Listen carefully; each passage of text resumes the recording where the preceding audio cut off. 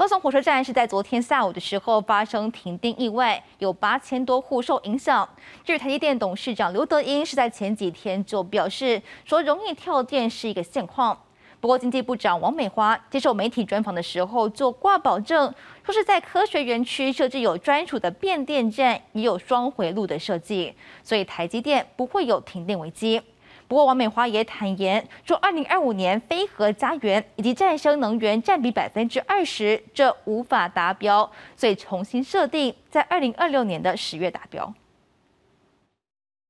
再生能源百分之二十这个结构，好像现在我们已经目标已经放弃了吗？是叫做放弃，而是说我们用最大的努力哈来达到这个呃相关的这个二十的这这样的一个占比。二零二五飞核家园再生能源占比百分之二十，经济部长王美花再次明确回应，已无法达标。他坦诚错估形势，因过往的经济成长率不到百分之二，今年台商返台投资，供电需求也大增，再生能源占比百分之二十，定在隔年第四季。二零二六的。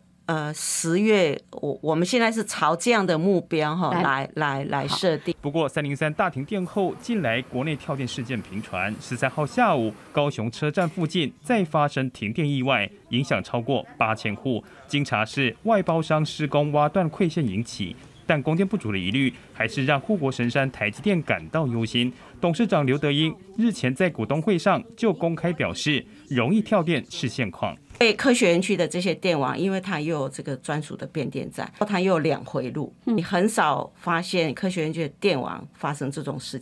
对于近来香港再度发放消费券，国内是否还会再发五倍券救内需，引发关注。我们要解封的时候再来一波五倍券呢？一定要经过立法院同意。嗯，那这个预算的经费是没有增加的。王美花强调，目前规划的振兴措施只有针对餐饮业三十六亿的行销补助，目前申请人数约三万人，将延长到六月底。记者黄立伟线奇闻台报道。